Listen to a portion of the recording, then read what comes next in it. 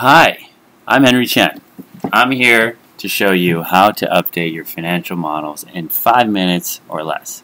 Now, if you're like me, you're an investment analyst or a financial analyst, you have your models, and one of the main pain points in your uh, day-to-day -day working life is every now and then a company reports their quarterly earnings and you take their press release and you have to hard code in one at a time each of the values. So you would take for example, this company, and you look at its um, you look at its reported financials, and and I see, look, I'm having to find. Oh man, okay, so I'm looking for 1Q, and I have to update resources. And what you're doing is you're typing it in one at a time. There's errors. You have to update the formats, and it's just a huge pain. So there's got to be a way to automate this, and there is.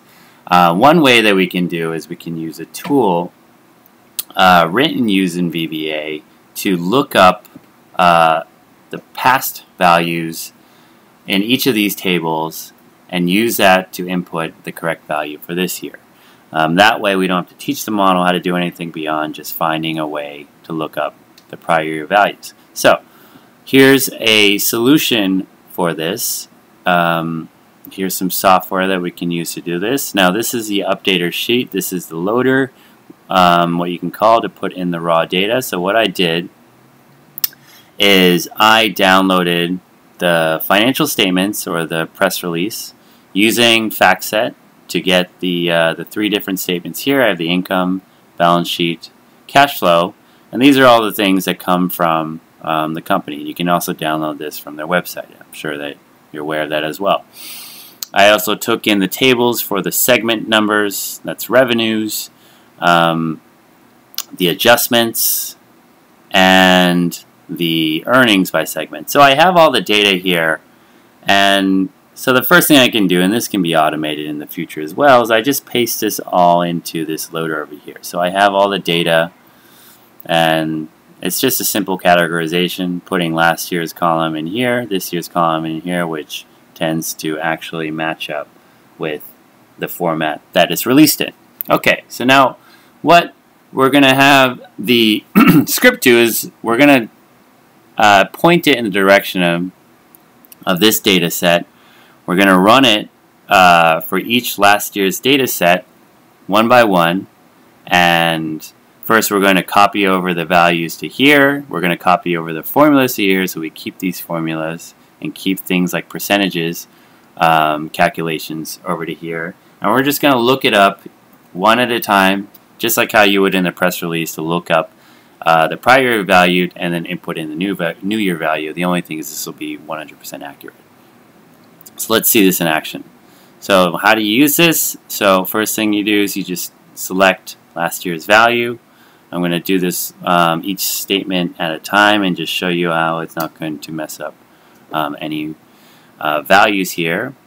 Um, second thing, I'm just going to paste that over here. So now it's going to start looking over here for what to update. Let's push OK, and boom! All right. So extremely fast. We've updated the majority of the model.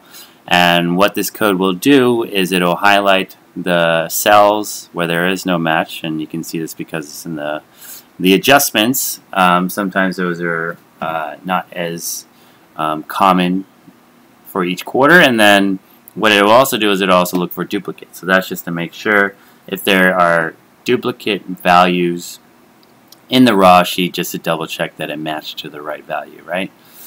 Um, so that's great. Let me also show you I have the balance sheet. I'm going to do the same thing. Copy over here. Um, copy that and let's update this.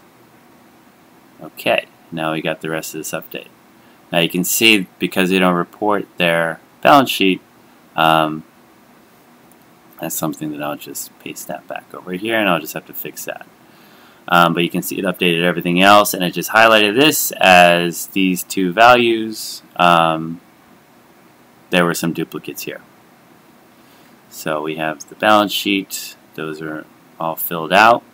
And now we can do the cash flow and uh, cash flow, if your models are similar to this, since cash flow is always looking up, um, uh, it's always year to date. So one of the ways the script will do is it will look into the formulas and just cap look at the values to update. So let me just show you how it'll work here. I'm just going to grab that, copy that, and select that, and there you go. And now it's updated nearly every single value. Um, you can see this kept my formulas, and it just updated the actual values over here. And there you have it. Within two minutes, we've updated um, nearly all of the financial sheet. We just have a couple of cells to check. So uh, it's just about one, two, three, four, about five or six cells, maybe one here, one here to check, and everything else is updated. Um, and now I could show you just some of the fixing. I'm just it'll just take one or two minutes just to double check all these numbers look correct. Um, there you have it. That's how you can update your models in five minutes or less. Uh, let me know if you're interested. Um, I'm happy to help uh, customize this, um, but hopefully this can be valuable for you too. Thanks.